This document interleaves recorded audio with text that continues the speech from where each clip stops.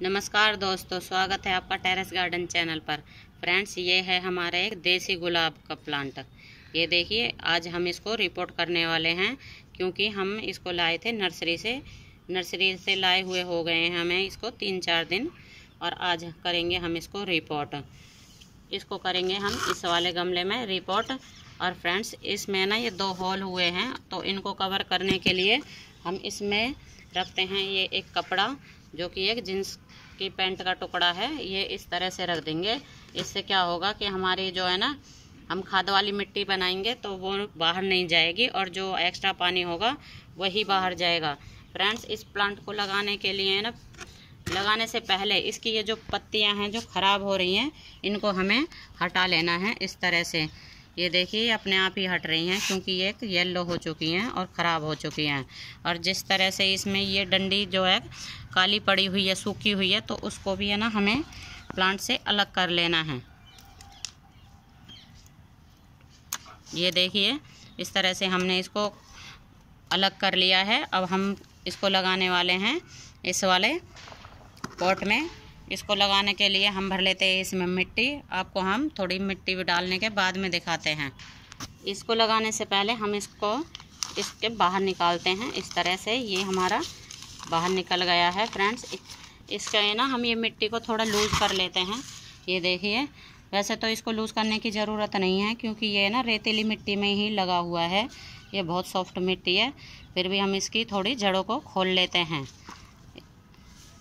ये देखिए, और अब इसको हम रख के देखते हैं। ये हमारा है, ठीक अब इसके, इसमें डालते हैं थोड़ा नीचे एप्सम सॉल्ट ताकि हमारे प्लांट को है ना, जो रिपोर्टिंग शॉक ना लगे।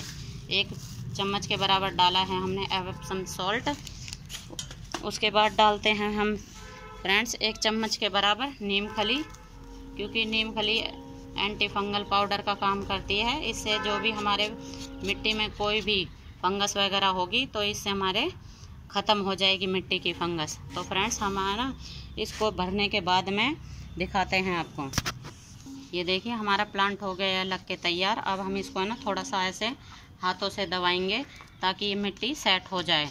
और हमें जब भी किसी भी गमले में कोई प्लांट लगाए ना तो हमें डेढ़ या दो इंच नीचे ही रखना है, क्योंकि कई बार हम प्लांट में खुद करते हैं मतलब गुड़ाई करते हैं और पानी डालते हैं।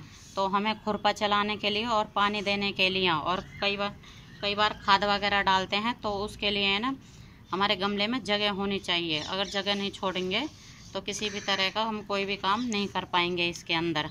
तो फ्रेंड्स, अब हमारा हो गया है प्लांट लग के तैयार। तो इसके बाद हमें इसमें पानी डालने के बाद में हम इसको रखते हैं छाया में। कम से कम चार पाँच दिनों के लिए। और फिर उसके बाद हमें इसमें कम से कम डेढ़ या दो महीने तक खाद डालने की बिल्कुल भी ज़रूरत नहीं है, क्योंकि हम इसमें ना, इसकी मिट्टी में अच्छे तरह से जो गोबर खाद मिला चुके हैं।